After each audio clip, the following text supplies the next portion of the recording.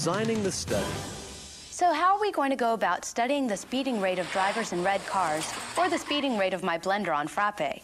We've got to figure out how to observe the effects of the independent variable upon the dependent variable. And guess what? We're in serious luck.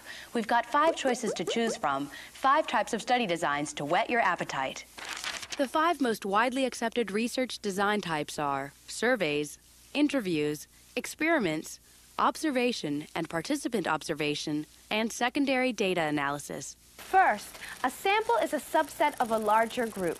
Basically, a sample represents a population of something. Sampling can be done either methodically or randomly. Methodical sampling is the conscious choosing of your subset members.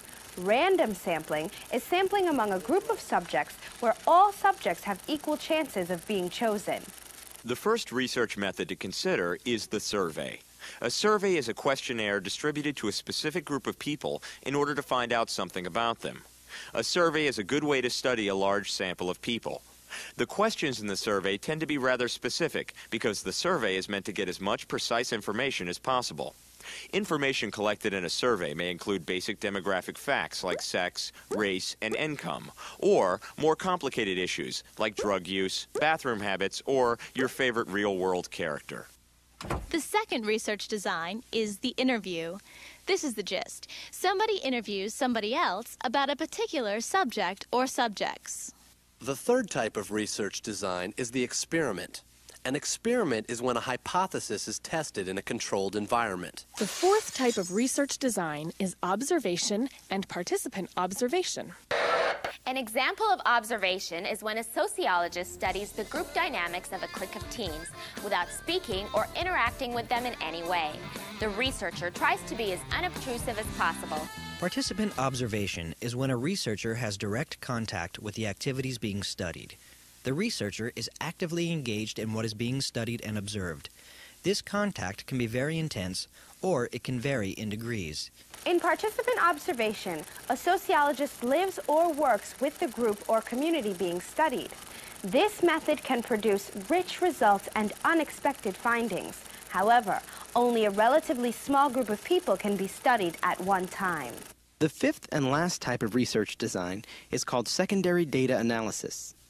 Secondary analysis, or content analysis, is when you use the data collected by others in order to test your hypothesis. Examples of secondary data are rates. Official data, like information collected by the government, such as census reports and documentary analysis, or information from written words like newspapers, magazines, and poems, or information retrieved from visual and or audio data, such as television shows, movies, and radio broadcasts. So those are the five types of research design possibilities. Surveys, interviews, experiments, observation and participant observation, and secondary analysis. Well, we've told you about two steps of the research process. One, selecting and framing the hypothesis, and two, designing the study. But those are not the only steps we have to climb. There are three more steps to the research process, and we're going to tell you about them. These last steps, which we will barely give the time of day to, are 3. Collecting the data, 4 analyzing the data, and five, reporting and presenting your findings. Put simply, in step three, you actually perform the research design you've chosen. In step four, you look at the data you've collected and see if it supports your hypothesis. Then in step five, you present your conclusions. The conclusions would be that either the data supports the hypothesis, or the data doesn't support the hypothesis, or the data is inconclusive. But each of these steps does get complicated because they tend to deal in numbers and even statistics. We don't want to get too bogged down by this stuff, so we're going to keep on rolling down the tracks of sociology.